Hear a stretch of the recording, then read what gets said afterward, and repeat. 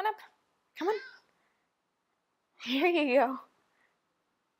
Hey guys, Pete and I thought we would take a minute to answer some of your questions in a little bit more of a conversational way. So today I'm going to answer the question that I get by far the most often, which is what qualifies something to be vintage space? Where do I draw the line of what's vintage and what's not?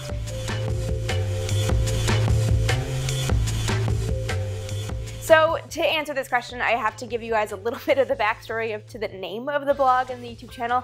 Uh, Vintage Space ask anybody who has a blog or has a YouTube channel or anything like that, the name is really important because if it works, that name is what's going to stick with you for ages. Um, so I was in a coffee shop in Tempe, Arizona, where I was living at the time about five and a half years ago, um, and a couple friends of mine and I came up with Vintage Space, um, trying to think of something that was both spacey because of the whole, you know, space bit, um, but also vintage because the space that I talk about is mid-century. It's it's vintage, um, but also I'm a bit of a mid-century Americana enthusiast, so it seems kind of like a good way to kind of merge the two things that that I really kind of love. Um, and that cross paths in sort of the, the, the, area that I like to focus in.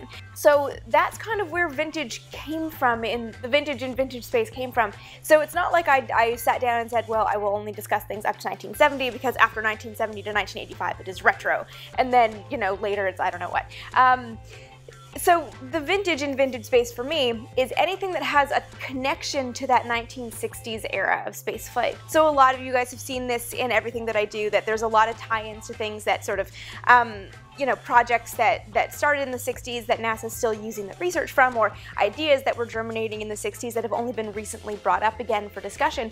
Um, an example of that would be the inflatable habitat modules that are now being considered for the International Space Station or potential Mars colonies. So when people started getting really excited about that a few years ago, um, I took that and I kind of looked back at, I think it was a 1962 proposal out of Langley for an inflatable space station, um, which, uh, you know, as we know, never got off the ground. But it's really interesting to me to see that that this idea that is sort of now being kind of discussed as like a really interesting future prospect was actually being discussed you know more than 50 years ago. Um, another one that I, I, one of my favorite stories is that the uh, the parachute that landed MSL on Mars um, used research from a 1967 um, upper atmospheric supersonic parachute deployment test, the PEPP program that I've talked about before.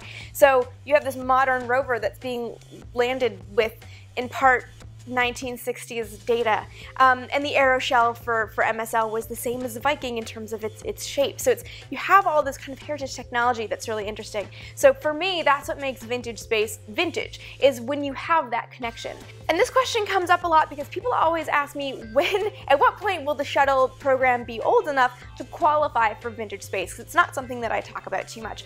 Um, the, the shuttle definitely has that, that characteristic of connections to the 1960s um, and 1950s because you can link it to Dyna-Soar um, to have a vintage space connection for me.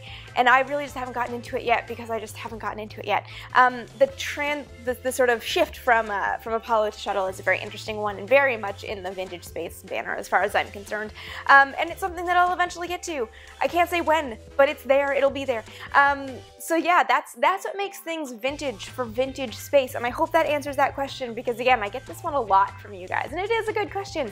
So all that being said, do you guys have other questions that are sort of a little bit more freeform because I get a lot of questions, a lot of great questions from you guys that aren't just about um, wanting to know about missions, about programs, about certain technologies.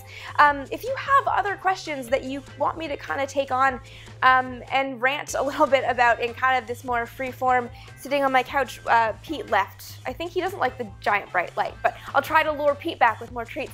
Um, leave those questions in the comment section below because I would love to get a different kind of conversation going on this channel. So as always, be sure to follow me on Twitter at AST Vintage Space, and just a heads up that I will be doing an Apollo 14 live tweet plus 45 years beginning on January 31st to celebrate the 45th anniversary of the mission. The first flight after Apollo 13. What will have changed? Will they make it? And with a new video going up every week, be sure to subscribe right here so you never miss an episode.